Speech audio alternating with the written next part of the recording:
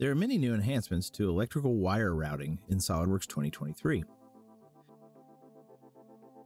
We'll use the electrical harness for the cooling system of this refrigerator to show these.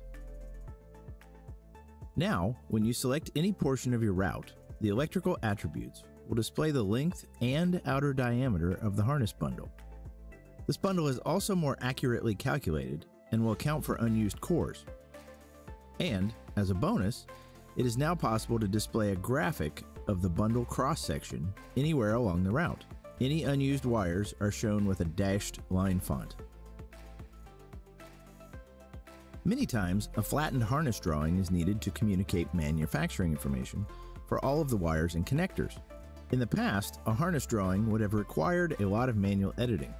New in 2023, tables are automatically placed closer to the connector they belong to.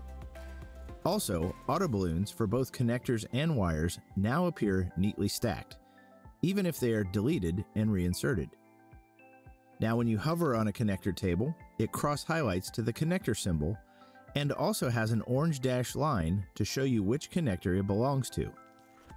This means you can place a table anywhere on the sheet and still easily identify its associated component.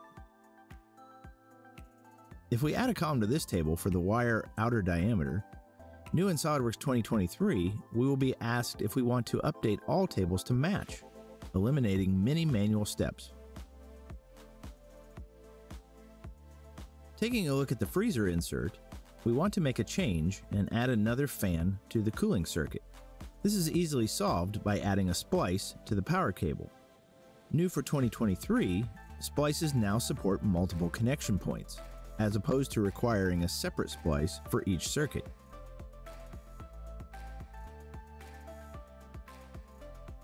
If we re-import the new modified from to list that provides the wire and cable information, we are prompted to place any new connectors.